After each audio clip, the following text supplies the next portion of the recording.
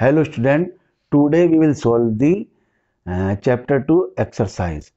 Question number one multiple choice question multiple choice है इसमें से एक करेक्ट है। Which one of these statement is not a valid reason for the depletion of flora and fauna तो grazing and fuel wood collection is not a valid reason for the flora and fauna plant and animal का कम होने का।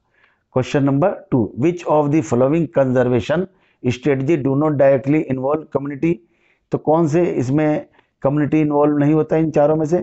Demarcation of wild life sanctuary इसमें जो है आपका community involve नहीं होती।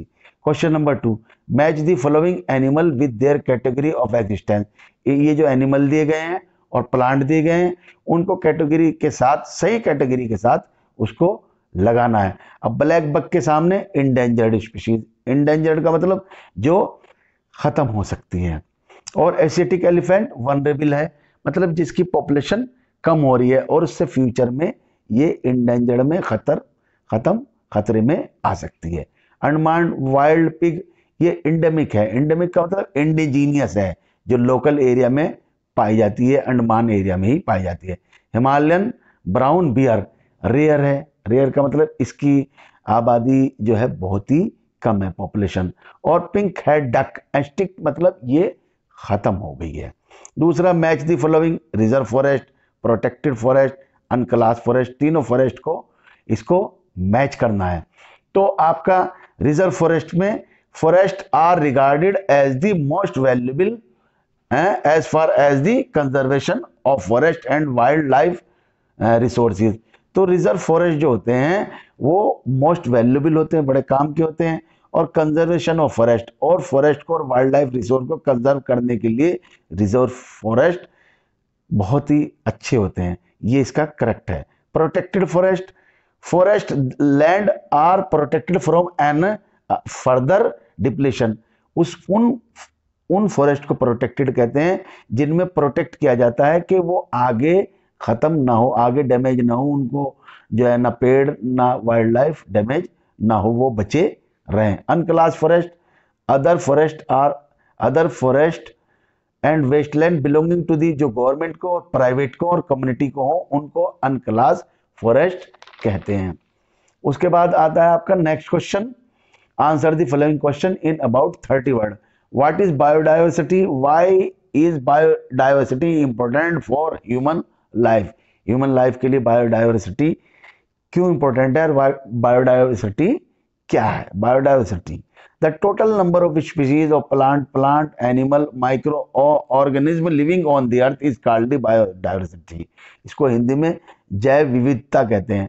जितने भी प्लांट और एनिमल और मार्गे माइक्रो ऑर्गेनिज्म अर्थ पर पाए जाते हैं, उन सबको मिलाकर तरह तरह के पाए जाते हैं। इसीलिए बायोडाइवर्सिटी कहते हैं। जितने भी plant animal it is the variety of organism present in the ecosystem आप एक इकोसिस्टम होता है जिसके अंदर सारी की सारी वैरायटी ऑफ़ ऑर्गेनिज्म पाई जाती है।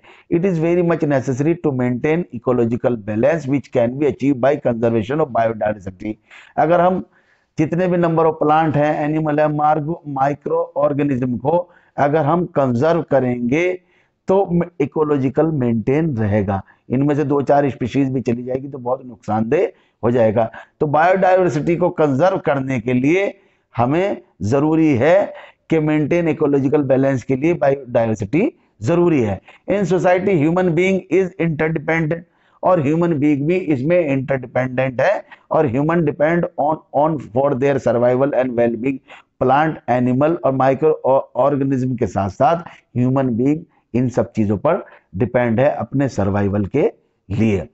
How have next question how have human activities affected the depletion of flora and fauna explain कैसे आदमी की एक्टिविटीज़ से फ्लोरा और फोना मतलब प्लांट और एनिमल कम हो गए हैं? एक तो सबसे पहले यह कि डिफोरेस्टेशन फॉर एग्रीकल्चर पेड़ों की कटिंग होगी क्या के लिए हुआ? ये आपका एग्रीकल्चर के लिए पॉपुलेशन बढ़ी तो पॉपुलेशन बढ़ने की वजह से एग्रीकल्चर की रिक्वायरमेंट बढ़ी तो डिफोरेस्टेशन पेड़ों कटिंग हो गया। दूसरे degradation of forest by shifting agriculture पेड़ों को काटा गया शिफ्टिंग एग्रीकल्चर प्रैक्टिस करने के लिए। दूसरे लार्ज स्केल डेवलपमेंट प्रोजेक्ट लगे बड़े बड़े प्रोजेक्ट स्टार्ट हो गए डैम बनना शुरू हो गए माइनिंग शुरू हो गई।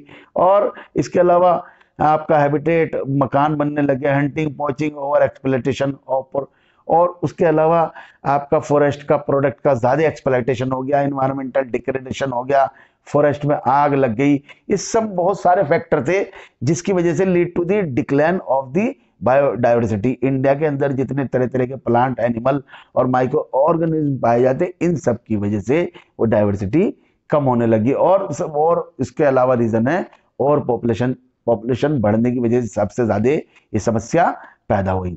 Next question answer the following question in about 120 words describe the how communities have conserve and protected forest and wildlife in India कैसे लोकल कम्युनिटी जो है उसने प्रोटेक्ट किया या उसको सेव किया फॉरेस्ट और wildlife four years our forest has been the home of different हज़ारों सालों से हमारे जो आपके फॉरेस्ट है, ये होम है.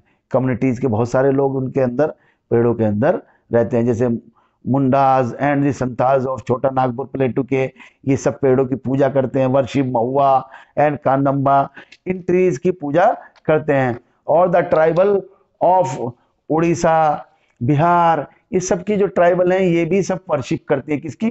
टेमेरिंड की। और टेमेरिंड मतलब इमली और मैंगो ट्रीज की पूजा करते हैं। बिश्नोई समाज है जो राजस्थान के अंदर पाया जाता है। ट्रीट दी ब्लैक बक जिसको कहते हैं काला हिरन आपने फ़िल्म का नाम भी सुना होगा, हम साथ साथ हैं। सलमान खान जब शूटिंग करने के लिए गए थे राजस्थान में तो वहाँ ब्लैक बन बक के जो है, आपका काला हिरन के शिकार के, उसमें ही उन पर केस भी दर्ज है। Nilgai peacock as an integral part of their community तो उन समाज के ये सब नील गाय पिकॉक को सब इंटीग्रल पार्ट समझते हैं अपना सोसाइटी के अंदर।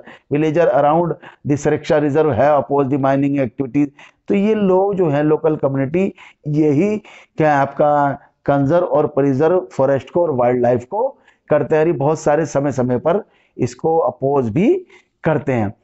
Next question write a note on good practice toward conservation forest and life तो क्या जो है कंजर्वेशन फॉरेस्ट को और वाइल्ड लाइफ को कौन से नोट्स हैं? Now it is many non government और ऑर्गेनाइजेशन जिसे एनजीओ कहते हैं वर्किंग टुवर्ड पब्लिक में अवेयरनेस कर रही कि वाइल्ड लाइफ को सेव करो फॉरेस्ट को सेव करो फॉरेस्ट को बचाओ एंड वैनिशिंग लाइफ और जो वाइल्ड लाइफ जो जैसे जानवर हैं, जो ऐसे प्लांट हैं, जो गायब हो रहे हैं, ख़त्म हो रहे हैं, उनको ज़्यादा से ज़्यादा ध्यान रखो, उनको सेव करो। सेंट्रल और स्टेट गवर्नमेंट भी नेशनल पार्क बनाए, बहुत सारे वाइल्ड लाइफ सेंचुरी बनाई। ये इनका सबका पर्पज़ क्या है? प्रोटेक्ट करना फॉरेस्ट को करना और ऐसी इंडेंजर्ड स्पीशीज़ ऐसी स्पीशीज़ को करना जो ख़त्म होने की कगार पे हैं। ये बहुत सारी तो ख़त्म हो चुकी हैं और बहुत सारे ख़त्म होने की कगार पे ऐसी स्पीशीज़ हैं। तो उनको बचाना है। तो project for the protection of the specific animal, tiger जैसे आपका वन हॉर्न रीनो, और ये क्रोकोडाइल है, इंसेक्ट है, बटरफ्लाई है, इनको सबको भी लिस्ट में ऐड किया गया क्योंकि ये भी खत्म हो रहे हैं धीरे धीरे तो कम्युनिटी बहुत सारे मूवमेंट चलाए गए, जैसे लाके चिपको मूवमेंट चला गया हिमालय के अंदर पेड़ों को बचाने के लिए। ये एक्टिव रोल किया इन रजिस्टर डिफोरेस्टेशन मतलब पेड़ों कटिंग को रोका चिपको मूवमेंट से।